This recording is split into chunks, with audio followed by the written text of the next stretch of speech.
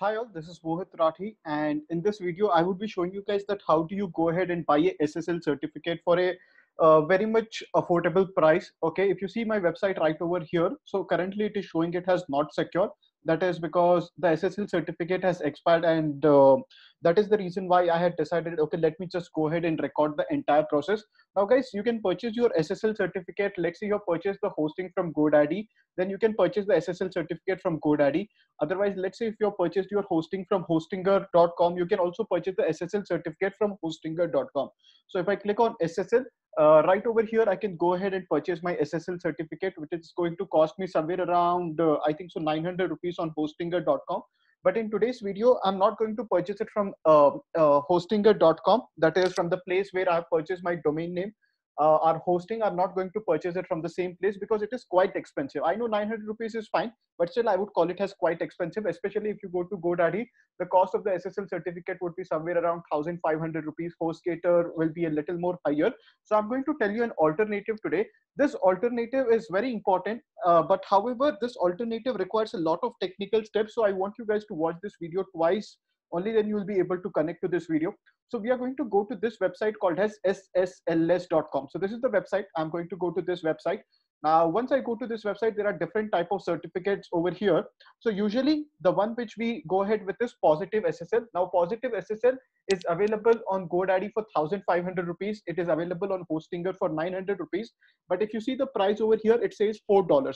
Okay, but hold on it is not four dollars uh, basically four dollars is what if you buy it for four years okay so let us see what is the price in the checkout. But apart from this positive ssl these are the different type of ssls all of this is not required guys. All of this comes with the company name in the browser. That is before uh, this ssl the company name would be there etc so we are going to go with a simple positive ssl which is also available on godaddy and hostinger but for a higher price. Now when i'm buying it for four years that time it is uh, four dollars but let's say i'm going to buy it only for one year. So when, once i'm buying it for one year it is somewhere close to seven dollars. And then i'm going to click on checkout now. So once i click on checkout now it is going to ask uh, your mail address so that you can go ahead and create account. So let us quickly go ahead and create a new account over here. Uh, it will ask you for all of this details. So just enter all of these details and make the payment. Once you make the payment i'll show you the procedure ahead Great. So if you guys see over here, the payment is already done. And now once the payment is done, you'll have to click on my SSL certificate. So all of your SSL certificates would reflect over here. Now you will have to go ahead and activate the SSL certificate guys. Now while activating the SSL certificate, you need to also prove the ownership of mohitrathi.in. That means you need to give a confirmation that mohitrathi.in is a domain name that belongs to you. Okay, so what are you supposed to do is click on activate once you click on activate, it is going to ask you for the domain name on which you want to install this SSL certificate. So I'm going to write www.mohitrathi.in is going to be the domain name. And uh, once I write the domain name over here, it covers both www and non www. So both is covered over here. So both of this is covered. And there are going to be basically three files. I want you guys to make a note of it. Note of it. There are going to be how many files? There are going to be three files that are going to be downloaded. The first file is going to be called as private key.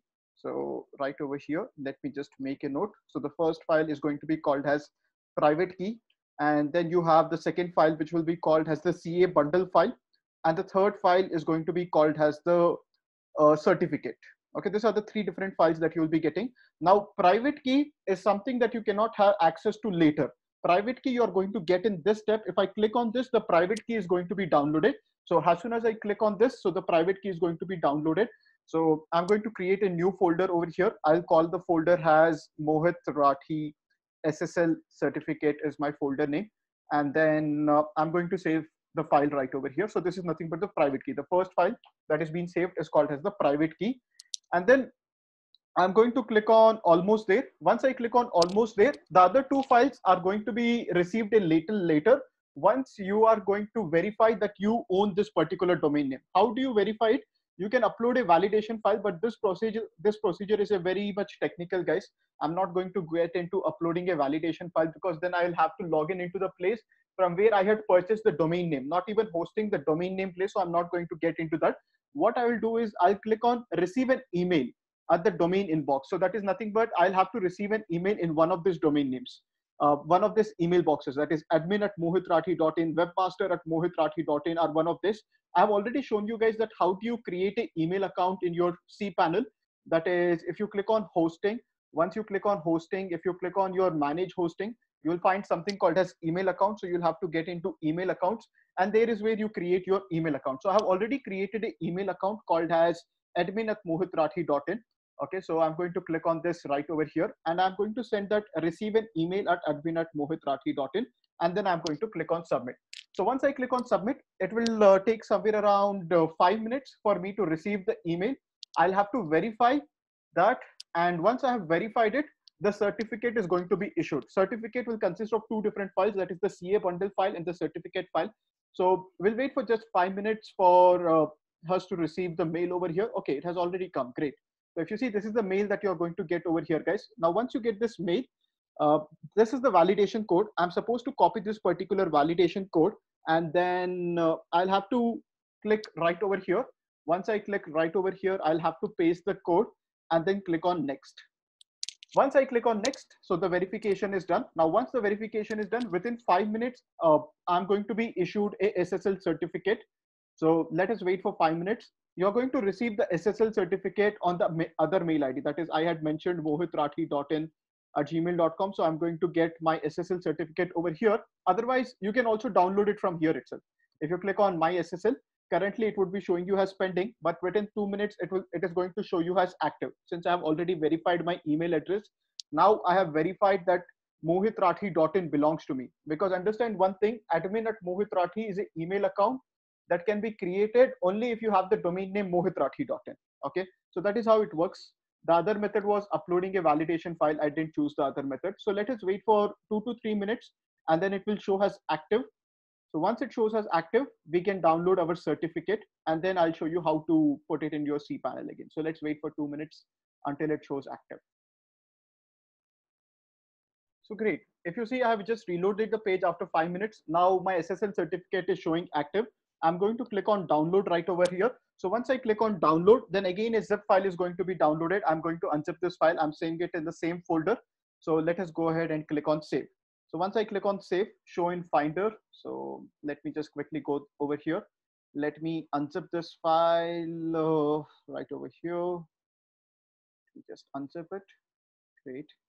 This will consist of two different files. One is the CA file. So this is called as the CA file, guys. And this is called as the certificate file. And the first one, which was downloaded earlier, uh, that was called as your private key. So I'm going to unzip this as well. So this is going to be my private key file. Now, these are the three different files that you must have. So once you have this three different files, you see your SSL certificate has been purchased from a different website and your hosting is in a different website. So my hosting is where? My hosting is in Hostinger. Now I'll have to go back to my Hostinger account. Once I go back to my Hostinger account, I'll click on hosting manage, I'll get redirected to the C panel, C panel and also called as the hPanel. Over here, I'm going to search for SSL. Okay, I'm going to search for SSL. Once I search for SSL, then uh, right over here, I can click on get it now and then I'll get that SSL certificate for 900 rupees. But remember guys, the SSL certificate that I bought from SSLS.com, it has costed me only somewhere around 513 rupees. So I have already saved 300 rupees and I'm also making a video for you guys. Okay. So if you see over here, these are the three things that has to be filled. As I told you, this will be the three different things. Now, let me just quickly go back over here. So first, we are going to select the private key. I'm going to double click on this. Just don't try to read what exactly is the private key. Just copy this, put it across right over here. All of this are nothing but codes. So once we put it across right over here, two more files, CA bundle file and the certificate file. So let me go back over here. And this is the CA bundle file. I'm going to open it with notepad file. So you guys can click on right click open with notepad file. So see this was the CA bundle file. I'm going to paste this right over here, the CA bundle file. Let me go back over here and this is the certificate file. These are the three different files. So open with, I'm going to click on other. Once I click on other, I'm going to select notepad file. So in Mac, it is text edit. So I'm going to search for text edit open. This is the certificate. I'm going to copy the certificate right over here and I'm going to paste it and then click on install. So once I click on install, this is how I'm going to install SSL certificate manually. Okay, so the reason that why I went to SSLS.com so that I could save some money, 300 bucks. is what I saved. So this is successfully installed. Okay, now once this is successfully installed, uh, I'll go over here, I'll reload the page. Over here, I would still not see something called as secure because for that, I'll have to log in into the backend. Okay, it is all it has already come. But if in case you're not able to see still HTTPS that is secured, that is because you'll have to install a plugin called as really simple SSL. So if you install really simple SSL, then it gets redirected to HTTPS. Okay. So remember, this is the entire procedure, guys. This is the entire procedure of how do you go about it. SSLS.com is place from where I purchase the SSL certificates. Now, uh, you might charge your client 1,500 rupees for the SSL certificate, but you can come down to SSLS.com. You can buy a SSL certificate only for, uh, it has costed me 513 rupees. So 513 rupees was only somewhere close to $6. And once it is done, you see over here, now my website shows secure. So for one year, SSL certificate is done. Okay. If you buy it directly from hostinger.com, this entire procedure of CA bundle file, certificate file, and the private key is not going to be there into the picture.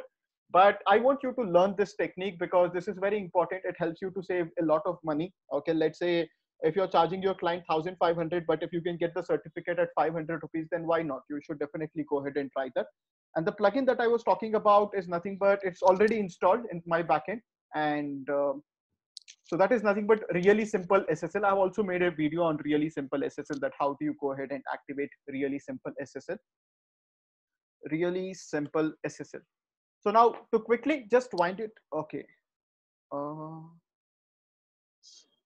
I'll just search for SSL. Which is the plugin? Yeah, SSL insecure content fixer are one of those plugins. Any one of those plugins should be fine. So now instead of uh, not secure, it is showing as secure. SSL certificate is successfully installed on my website. So now just to quickly rewind back that what are the different things that you're supposed to do? First, just go to ssls.com and then uh, buy the SSL certificate by paying by debit card, credit card, or PayPal or whatever it is.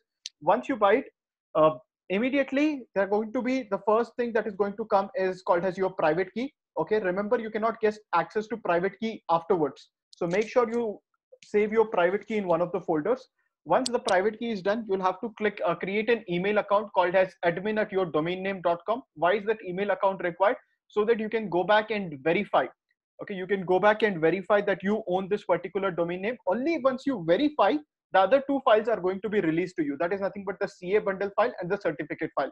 Once all the three files are ready, now there is no use of SSLS.com. If you want, you can close this. You can come back to this after one year when you want to renew your SSL certificate. Then you'll have to go to your hosting panel. Once you go to your hosting panel and then uh, click on the domain hosting, search for SSL and put across all the three files. Once you put across all the three files, the work is not yet done. The other thing is log in into the backend of your WordPress panel, install the plugin really simple SSL, and then you will see that your website shows a secured connection. Now guys, you might be wondering, Mohit, you just saved uh, 300 rupees. You could have just directly purchased it from hostinger.com and uh, you could have done it 300 rupees saving is, uh, but guys, it is important to learn, okay? And try to do it for two to three clients. Once you install SSL certificate for two to three clients like this, that time uh, that time you will be a perfectionist perfectionist in it. Uh, if you buy it from godaddy if you have enough money you want to spend 1500 go ahead and spend it. You need not do this entire process altogether. But yeah learning is always good. And at least for one of the websites try to do this procedure okay so that's it from my end on how to install ssl certificates thank you everyone and if you think that this video was uh, useful, just try to save this video. You can also copy the link and uh, save it in your notepad file. Or if you're watching it on Instagram, you have the save option. If you're on YouTube, that time you can save it into one of your collections. Okay. And next time, whenever you're installing a SSL certificate, try to do something like this. It is going to save you some money also. Okay. So thank you for watching.